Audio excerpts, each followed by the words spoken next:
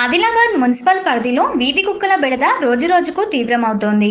రోడ్లపై విచ్చలవిడిగా వీధి కుక్కలు తిరగడంతో ప్రజలు భయాందోళనకు గురవుతున్నారు. ఆదిలాబాద్ పట్టణంలోని Shantinagar Masood Chowk Bokkalaguda Saraswati Nagar old housing board తదితర కాలనీల్లో కుక్కల సంచారం మరింత పెరిగింది. దినము రాత్రి అనే తేడా లేకుండా పదుల సంఖ్యలో వీధి కుక్కలు ఒకేసారి రోడ్లపై తిరగడంతో అటుగా వెళ్ళే వాహనదారులు పిల్లలు మహిళలు తీవ్ర ఇబ్బందులు పడుతున్నారు. పలు ప్రాంతాలలో ఇప్పటికే వీధి కుక్కల దాడిలో గాయపడ్డ వారిని ప్రభుత్వ ఆసుపత్రికి తరలించారు. ఇంత జరుగుతున్నా మున్సిపల్ అధికారులు మాత్రం పట్టించుకున్న పాపన పోలేదని కొందరు నాయకులు మండిపడుతున్నారు. ఆదిలాబాద్ రిమ్స్ హాస్పిటల్లో వేరే ఇన్సిడెంట్ అయితే ఇక్కడ వస్తే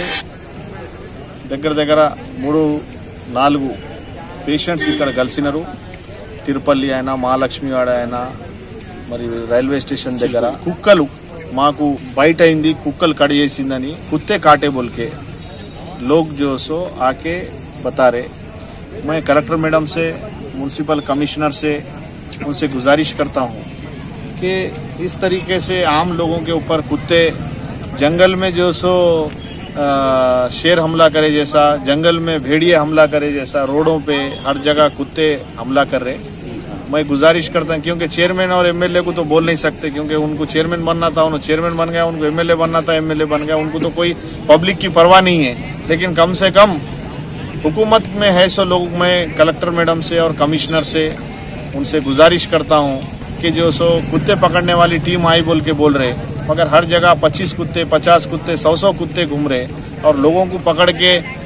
एक अभी एक लेडी का पूरा हाथ का पूरा गोश्त चमड़े के साथ जो सो काट के ले लिए। तो ऐसे रहेगा तो लोग जीना मुश्किल हो जाएगा इमीडिएट जो सो मैं ये वीडियो